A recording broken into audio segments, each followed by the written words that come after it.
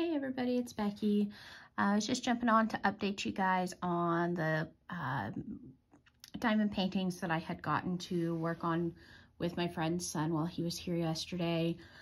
Um, he ended up finding other ways to entertain himself while he was here, including playing with the leaf blower. Um, he wanted to jump in a pile of leaves, so he's like, hey, can I use your rake? And I'm like, yeah, sure, here's a rake and he raked up the tiniest little pile of leaves I have ever seen in my life and started jumping in them. And I'm like, hey, dude, like, do you want like an actual leaf pile to jump in?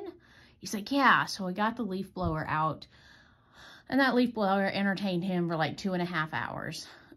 He was just having a blast with it. My, my yard has probably more leaves in it now than it did to start with but I'm totally fine with that. He absolutely loved it. Our weather was lovely. It was like low 70s, sunshine, so it was a perfect day to be outside. So we did not do any diamond painting. So um, as his parents picked him up, he got in the car and he all of a sudden remembered the paintings. He's like, what about my pictures? I'm like, well, they're not done yet. I said, do you want me to finish them and give them to you when they're finished? Or do you want to take them home with you and work on them yourself. And he said, will you do them for me, please? So of course, I will do them.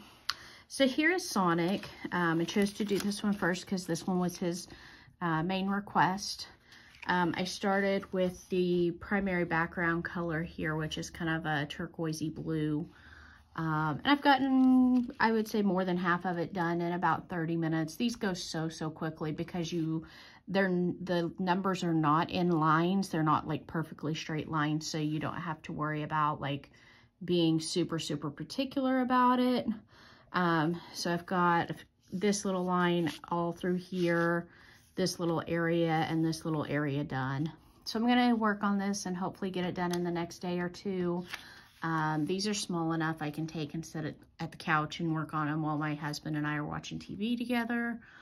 So um, I'll get this one done for sure in the next day or so. Um, I'm not sure how quickly I'll get all four of them done, um, but we'll see how that goes. So that was how the day went. He watched a little bit of TV, but mostly we were outside playing. So um, I am totally fine with that. I love when kids get outside and actually use their imagination and play. So here we are. I'm working on these. I love them. They're adorable. So um, I'll get these done and I'll update you as I complete them and show you what they look like in the frames once I get one done. Um, anyways, that's all I've got for today.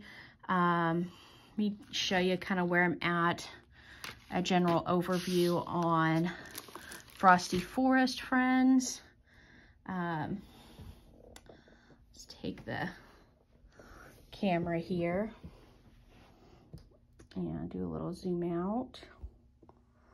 So I've got a good chunk of it done. I've got several birds completed. This little squirrel over here is adorable. I still, in real life, you do not see this rabbit like when you're up close to the picture. When I'm standing back the way I am right now, yes, absolutely, it is a rabbit, but it looks so much better in the camera. Uh, let's move the suitcase here and show you kind of what I've got left. I would say I'm not quite halfway up. There's the other three paintings um, in the kit and my little trash tray there. Um, so yeah, Frosty Forest Friends is coming along. Sonic is coming along. And uh, I'll keep you guys up to date. I appreciate you taking a minute to watch with me here. And you guys have a great day. Bye-bye.